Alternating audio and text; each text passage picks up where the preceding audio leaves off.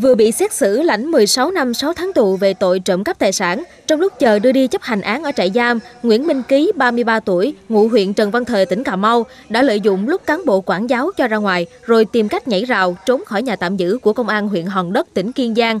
Với hành vi này, sáng nay, ngày 17 tháng 9, Tòa án Nhân dân tỉnh Kiên Giang đã tuyên phạt bị cáo Nguyễn Minh Ký 12 tháng tù về tội trốn khỏi nơi giam giữ. Tổng hình phạt cùng với tội danh trộm cắp tài sản trước đó là 17 năm 6 tháng tù.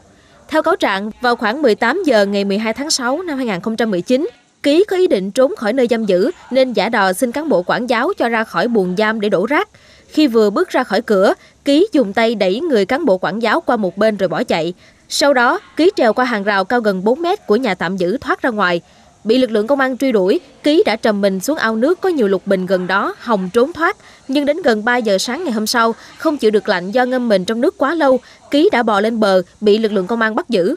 Trước trốn khỏi nơi giam giữ, Ký đã có 5 tiền án về tội trộm cắp tài sản.